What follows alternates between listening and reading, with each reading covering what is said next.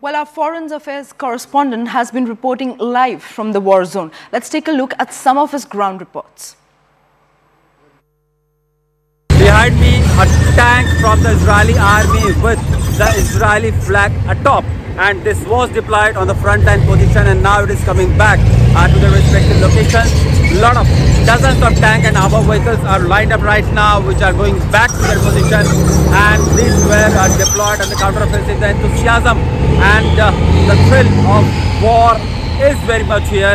But for the cause of eliminating entire Hamas network that has been perpetrating a lot of terrorist attack in the past also. And now uh, the, the, the, the, Israeli government has thought that once and for all they will eliminate the entire uh, establishment, infrastructure, nexus, individual, everyone who is associated with Hamas or who has been supporting, aiding, abetting or in any way trying to be associated with Hamas uh, militia or the terrorist organization. So this has been the stand of the Israeli government and uh, with all the kind of reinforcement that is being sent on the borders along Gaza stretch uh, that that is the kind of offensive that is the kind of preparation that the Israeli army has been preparing for a very long time now. And these uh, will continue to go on. Sources also tell us that about two to three months could be uh, the, the, the, situation that could remain along the border uh, probably because the Israeli army uh, does want to invade, does want to uh, go ahead with their territorial fight against the, the Hamas terrorists who have been hiding along uh, the Gaza in several quarters, several uh, residential buildings.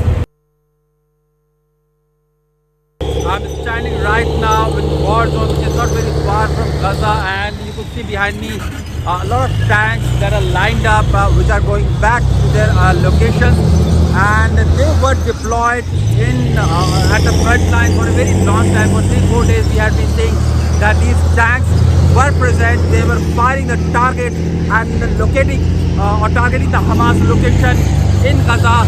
And now some of them have been going back to their position. Uh, we have seen uh, visuals of tanks lined up across the stretch which is like about few dozens of tanks and other armored vehicles which are coming from the front line position. We have been seeing how uh, incessantly they have been targeting the position along Gaza Stretch, targeting Hamas location and militant hideouts. Uh, how kind of military offensive, how what kind of uh, you know ground operation Israel is planning that still remains to be seen. But we have seen that Hamas locations were targeted by aerial strikes earlier. Several thousand tons of ammunition have been dropped on Gaza. Several hundred civilians have also been killed. Israeli army claims that hundreds of Hamas terrorists, their headquarters, their senior commanders, they have been killed also in the attack that Israeli Air Force have been doing. These tanks, which have been lined up along the Gaza Strip, about two to three kilometers from uh, where we are, have been targeting all those positions and now they are coming back. So this is the kind of military offensive or the ground operation that Israeli army is conducting right now. I still had the, in my mind a, a, crazy idea that we will be able to help them. I'm a mother, that's what I do. I rescue my kids, that's my responsibility. But it wasn't possible, and I was on the phone with her, and I knew I was lying in, in, in one minute I knew I was lying that we cannot help her. So I decided just to talk to her and make sure she she knows she's loved. So if this will be the last words she heard, she's hearing, it will be a love words, telling her how much I love her, how much we all love her, how much we want her back home, and we will go to the coffee shop that shop that we've been a few days ago. Hamas is ISIS. Hamas is Daesh. Hamas don't care about people's life.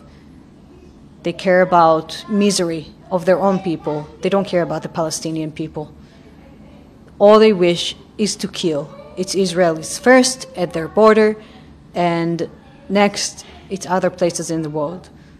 They believe, they don't believe in anything, in my opinion. It's just an excuse to, to, to act as a murderer, to run in the streets as monsters.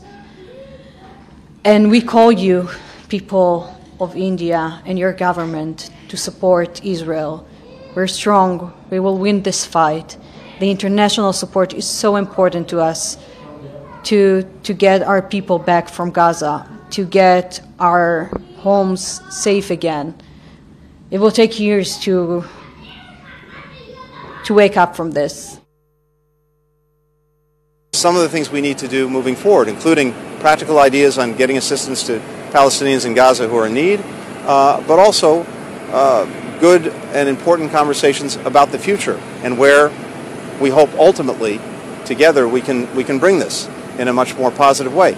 In terms of the conference that Egypt is, is, is putting forward, um, look, we think these kinds of initiatives are good, are, are good ideas. Anything that can look in, in practical ways at how we can uh, help get assistance to uh, uh, the Palestinians who need it, uh, that can uh, look at ways to ensure that this conflict doesn't spread, uh, that can look to the future as well, um, I think is a positive thing.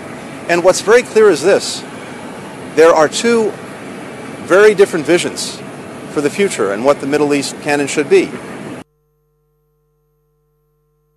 Hamas are trying to prevent people leaving northern Gaza, and that is the point. Okay. And Let- so, look, we do want, of course, we want to minimise uh, Palestinian casualties. We want to minimise uh, Israeli casualties. We want uh, everybody to respect civilians. But the real clear distinction is Israel are trying to get civilians out of danger. Hamas are trying to put civilians into danger, and that is a fundamental difference between the two.